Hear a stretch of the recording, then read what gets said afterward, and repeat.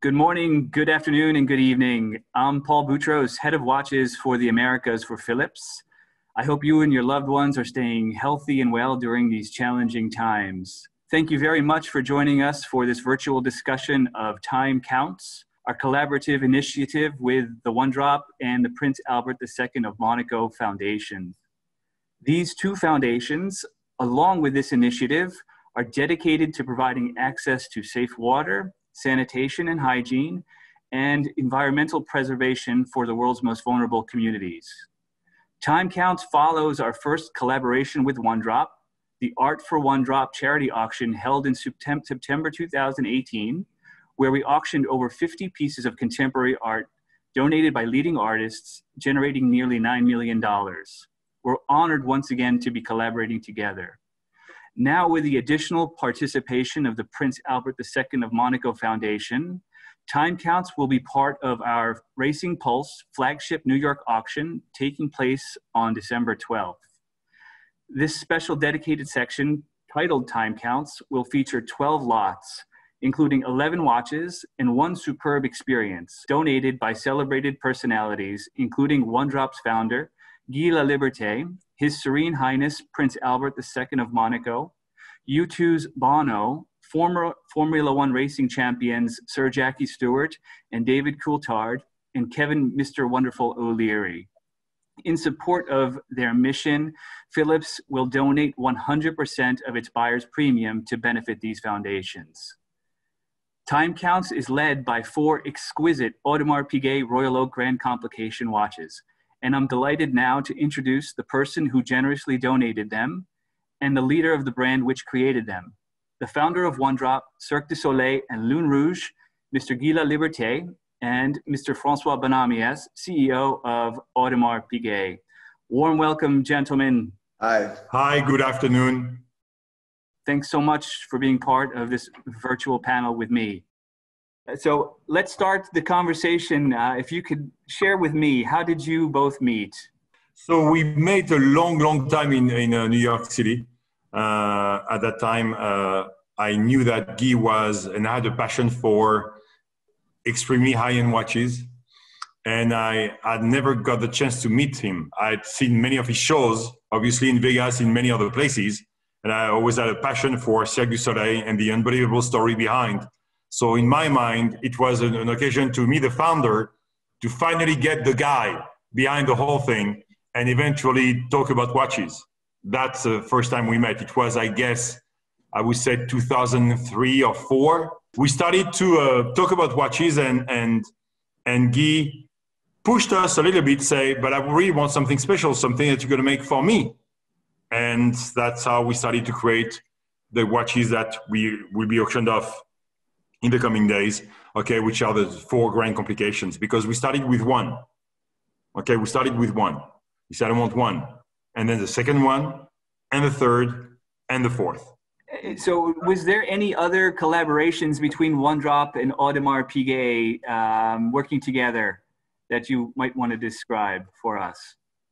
Well, Francois over the year became a friend and also a great supporter uh, of uh, the One Drop initiative. Uh, there was a couple of like collaborations being done, but I think this this time is probably the the biggest one uh, that has been put in place. And uh, obviously, uh, uh, the four grand complications that are uh, being put on sale is have history for the reason that Francois had said. I have to mention one thing. I was asking for a fifth one back then in platinum, and Francois told me we cannot do a watch like that in platinum. So basically I end up having the four. And and and and today's uh, reality of the world uh, based on the impact of the COVID has been very very uh, um, provoking basically a lot of, of problem around the world you know. Now major countries of the world are focusing on their own problem meaning that the international aid is is reduced toward uh, uh, third world country or country needs in terms of water. So why all this at this moment is because I believe that more than ever, uh, the world has to get to come together and not forget that there's people in need around the world while we're dealing still with our uh, own problem. But I think it's very, very clear for me that we should not uh, miss the opportunity of also and the responsibility of helping uh, third world country. Thank you. Thank you very much, Guy and, and Francois. For Phillips, we're absolutely delighted, of course, to support this noble cause. Um, Francois, would you like to uh, share what makes you passionate about One Drop's mission and uh, how did you get involved um, in this particular Time Counts uh, initiative? I remember, this is what I'm going to remember. And Guy, if I say something wrong, you have to correct me. But this is what I remember completely. You went to space at some point. And if yes. I'm correct, you started your foundation right when you came back. Correct? No, actually, no, actually, it's the contrary. We started a foundation in 2007, uh-huh. and I went in space in 2009 and actually, we used the space travel to try to promote and create an event, which was called uh, that that was basically coordinate uh, the lecture of uh, uh, uh a poem in 14 cities in the, the, the world, and artists were performing. And at that time, I communicated with you and said, uh, uh and, and, we knew each other, and uh, I was asking uh, your support in terms of, of, of this thing. So we started the, the foundation in 2007 and the space travel was 2009. Because I do remember the launch with the launch of the book, okay, which was incredible, where it was for me, it became such an evidence that we would have to support in any way, shape, or form. And it was the beginning at that time. And the launch of the book, which was done by Assouline, correct? Correct. 2000, uh, 2010. 2010.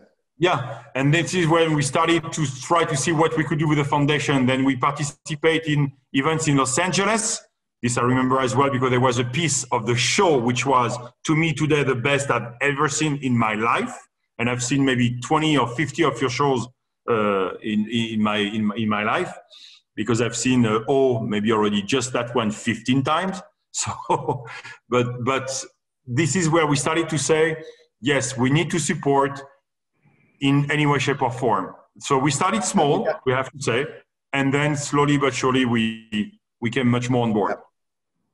But, but, but to, to tell the true story is, is I can't, before I went to space, I contact uh, Audemars Piguet. At that moment, you were not CEO, you were still in the, in the New York office, I think. And I said, I'm doing this program for One Drop in Space. Uh, would you provide me a, a watch or whatever? And, and actually, the the, the relationship at that moment was not about one drop. It was more about customer, me be collecting uh, watch and buying Audemars Piguet. So what I decided, I said, I'll prove them that I'm good faith.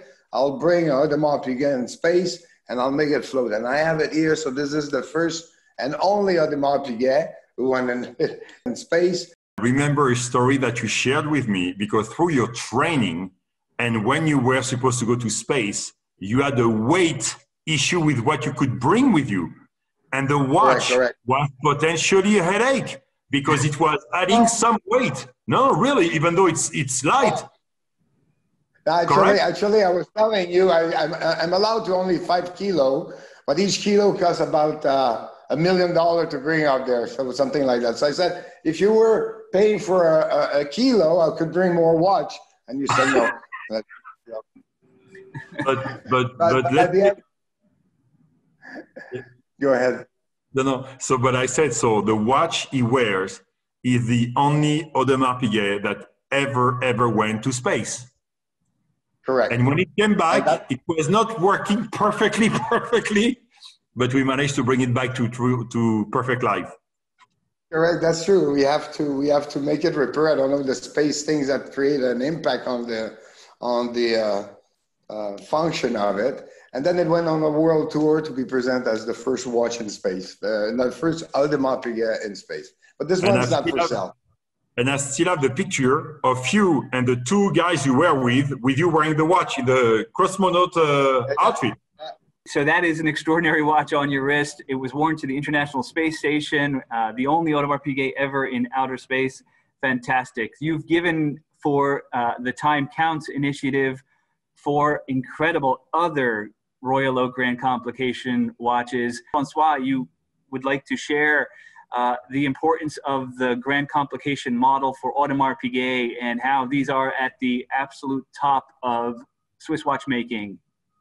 Uh, so first of all, the grand complication have been made by Audemars Piguet almost, almost since day one, because in the history of the brand, every single year we were making first a pocket watch as a grand complication, and we are going on and on and on. And we were still making pocket watches grand complication two years ago. Okay, so grand complication have always been a part of the history of Audemars Piguet. They were the very first watches made because Guy wanted this mechanism in a Royal Oak. And when Guy mentioned that he wanted a fifth one, which was a platinum, we said, but it doesn't work because we cannot make the platinum waterproof because of the lever of the minute repeater. Because the grand complication has got a chronograph with a split second, has got a perpetual calendar, and a minute repeater. And in platinum, we couldn't figure out how to make the watch waterproof. So he didn't get his fifth one. Now we could. Are you kidding me? well, I just I, I, I just want to add this was uh, you know full full watch that has been there, and uh, actually they were at the top of my collection. And like I said, uh, I, I want to make a gesture, a strong gesture toward uh, one drop, and, uh, uh, and and the watch industries to say, listen, uh, again, it's all about uh, taking every action possible to raise money for the benefit of what We did with Phillips and the support of Phillips uh, two years ago, the art uh, uh, uh, auction. Now we're doing the, the, the, the watch auction. And I want to take this time to, to thank Phillips also, who's been with us since the first moment we addressed them the uh, intention of doing or the, the, the, dream of doing an art auction and now we're doing the watch one. So uh, for me to get involved in that, giving watch is about. It's not about doing things for myself. It's about okay, sharing a treasure that I create over my year, and that to assemble those four watch together was. Uh, I think this is the unique aspect of of of, of those watches. The four together are unique in themselves and this is why I, I did collect those four watch together. And uh, they recently were um, serviced at Audemars Piguet in Le Brassus. And maybe tell us about the special custom box for each watch, Francois, if you could. So when we spoke about when we spoke about it the first time to to get the watches to be auctioned off, we said, okay, listen.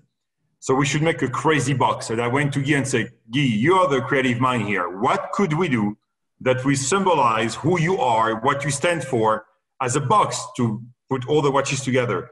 And Guy has always been some, someone very discreet in that sense and say, let's not make something too fancy. It has to be and respect the colors of the foundation. So the box is and has the colors of the one drop foundation. And at the same time, we made a mistake because at the beginning we say we got to put the four watches in the same box. And then we started thinking, but wait, wait, wait, wait, wait, wait. If we cannot find someone to buy the four watches at once, how are we going to do that? So we had to make babies of the big box, which are four smaller boxes for each watch to be sold separately. Each watch comes with not only the special box, but the original box is a wooden piano shaped box that amplifies the sound of the minute repeater plus the original uh, guarantee and all paperwork. They're complete packages, uh, perfect for collectors. We're thrilled to offer them. And um, we're uh, especially appreciative of Audemars Piguet's support in making sure that they were delivered on time and were serviced beautifully. So thank you all uh, for that. Uh, finally, uh, a question for you, Guy. Uh, can you please tell us uh, about uh, OneDrop and what what it means to you? Why is it a meaningful foundation for people to to support, and how can you encourage people to bid? Well, uh, you know, OneDrop was founded in 2007, uh, and it's kind of an interesting journey for me because OneDrop was create to celebrate the 2015 an action to celebrate the 25 years of Cirque du Soleil, 25th anniversary. So at that time, I want to I, I want to celebrate the 25 year Cirque, but also I want to do something that was meaningful. And uh, and this is what triggered my interest of starting a second foundation because we already had a foundation, which is Cirque du Monde, uh, the Cirque du Soleil Foundation that helped kids in the streets around the world. But I want to do something that was another commitment for 25 years for Cirque and myself. And then I was sitting down with some um, friends of mine over lunch, and um, somebody else helped me to choose a sector of water because I was reflecting which cause would I could engage. And I don't remember exactly what happened, but all the conversation uh, about potential foundation or cause to to to to get involved in was water. And then suddenly it was about wow, uh, because at that moment told me, ah, yeah, I remember exactly when you told me one person every 20 seconds is dying of not having access to water in the world that shocked me, first of all. It's the biggest cause of death in the world. And but as a creator, I just didn't want to be driven by uh, uh, sadness, but also I believe, and I was trying to see how could we inspire ourselves and inspire people with. So for me, I took on also the symbolic of water, which is a, a source of life. So basically, on one time, on one side, you have the inspiration of water being source of life that could give me a lot of creative drive toward the foundation. And obviously the the, the fact of, of the, the the biggest cause of death water. The education is related to water the situation of women in the world uh, uh, uh, disease uh, malaria all name it. Water is as a, so you clear the problem of water you have a good chance to clear the many other problem problem that this world is there so for me uh, it was an engagement a 25 years engagement through my family office foundation uh, it involved a lot of friends. It will involve a lot of my kids. And, and water is, is, in my opinion, the most critical uh, subject to address in the context of global warming uh, in terms of distribution. Uh, we need to be very careful because there is an impact of global warming that will affect the capacity of major region and major city in the world and countries to have access to clean water. And that could disrupt in a major way the balance of this planet of the world in terms of, of geopolitical situation. So for me, water is a no-brainer. It is at the, at the priority uh, of uh, to address in order to have a better world in front of us and organize ourselves. Water was not even at the international agenda between government. So you're talking not even more than 13 years. And here we are 13 years after, and, and and people suddenly realize that one, water is very, very important. So, listen, the, the, this auction is to raise money, but it's always also about raising awareness. And, and I just want to say thank you to all the people that collaborate, whatever it is, the staff at One Drop, the people at Audemars Piguet, the people at Phillips. This is uh, this event has been possible because of this coming together uh, among all those people. And there's a lot of individuals behind it. I don't know them all personally, but I want to say thank you. And for the people who will follow the auction or buy the war, watch, I just want to say thank you, thank you. And please push the price. Go for it because every penny uh, will save life. And, and, and, and, and, and this is what you have to know. It's beautiful watches to collect, but also behind this collection, this, this buy, you could feel very good about what the money of this buy or the, the uh, of the the buy that we'll do will, will, will be accomplishing. Thank you. Thank you so much, Guy. Thank you so much, Francois. Bye, thank you. Ciao. Bye. With that, uh, I really uh, enjoyed this conversation and thanks to everyone who's watching for your attention. We look forward to welcoming you for our auction Racing Pulse on December 12th. And Please do participate in time counts. Every bid helps, every bid matters. Uh, thank you again.